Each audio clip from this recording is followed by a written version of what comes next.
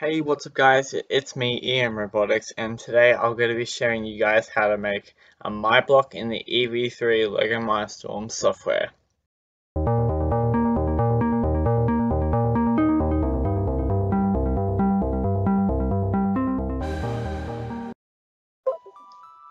Alrighty guys, so to make a MyBlock in the um, software it's really easy. So it's only a couple of steps to it, which is why this, gonna, this video is going to be short and sharp.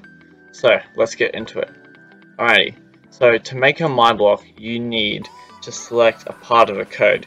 Now, a MyBlock is a way of simplify, um, making a code simple and more effective in big complex codes, such as code that you might use in your FLL competitions. So, to start off, we're gonna select, I wanna, I wanna make this, this loop into a my block to make it compressed. So we're to have two blocks in this main code. I'm to select that, or you can just press that there. I'm to go up into Tools. I'm to go into My Block Builder, and we go, and it'll bring up this screen here. Now, you have to, there's a couple things we have to do. So first of all, we'll name this my block. So I'm going to name this um, ABV line follow. Okay, so that's my name, and I'm gonna write a description. So I'm gonna write this code is a line follow code using two color sensors and advanced blocks.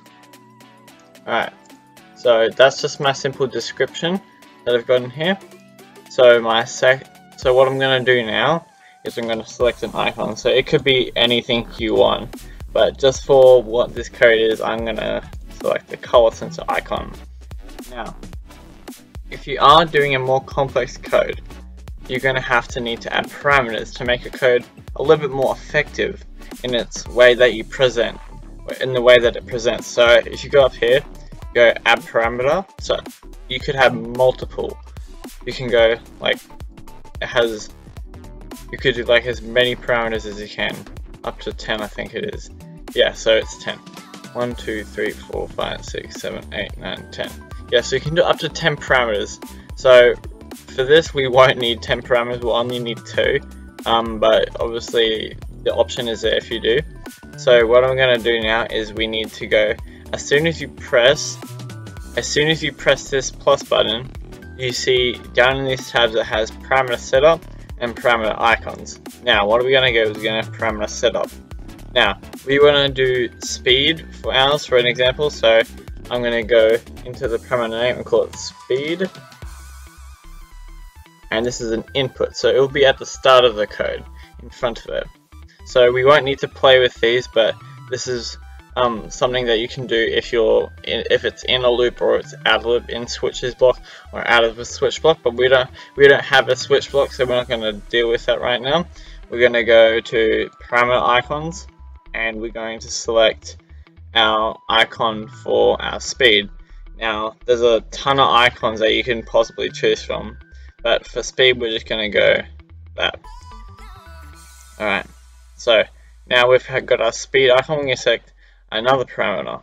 So we're going to go back to parameter setup. We're going to name it KP. So we're going to go KP, and that's also input.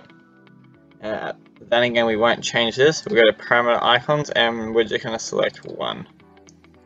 Now, obviously, then again, you can select anything you want. There's a couple, there's really cool icons that you can that you can use in there. So, we're gonna go press once you're done this you can press finish okay and what you might and what you what will happen is you'll have your your parameters your parameter here you have your loop block here but you won't have the block that was in front of it because that is in the original program so right here we have the original program so this ABD line follow is what I called the my block so this my block here is that. So that is that there. So up here, you could obviously just if you see how easy that made this bit this um code. So it's really a good way of simplifying it. So you could change the speed to say 10 and your KP to um, 3. So you could do that. You can go into here and you could link. So if you grabbed off, you grabbed out a math block and a move tank block, you could link your you could link your your KP into there, and you could do all types of cool stuff with it. Now, um, this code here is just an example code. It does not work, so um, if you can, you can go back to the start of the video and um, just copy it down if you want to use it and then modify it. It does have these new blocks that I imported lately, so you could. I have. I'm going to be making making another video on those blocks, so uh, we won't go into details about them about now, but we're just going to do this my blocks. So that's basically it, guys. So we have our amazing my block here. It has it will pop down in your my blocks folder that you can use. Really simple. It's probably one of the things I recommend if you for FLL. You have really massive complex codes. My block is the solution. So remember, remember these. So I will, I will just do them again. So you select a code. So you select the code, tools, my block builder. Well, I can't do it because I already made that in my block. You go. So if I just do that, tools, my block builder, my block name, description, any icon you want. Parameters if you want, you can go parameter setup, parameter name, parameter icons, and then you can press finish, and then you're done.